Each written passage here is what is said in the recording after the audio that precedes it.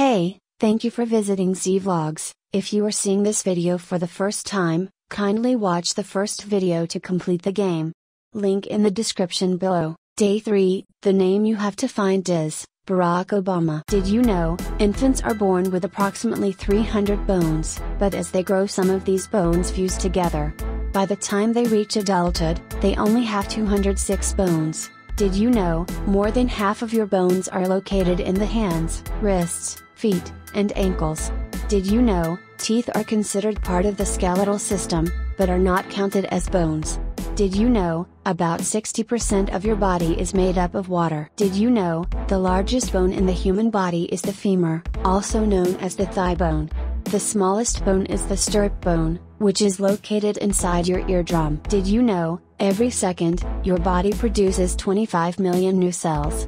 That means in 15 seconds, you will have produced more cells than there are people in the United States. Did you know, pound for pound, your bones are stronger than steel?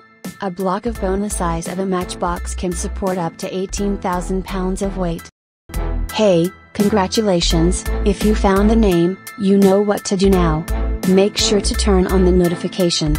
I will see you tomorrow, with another video, take care.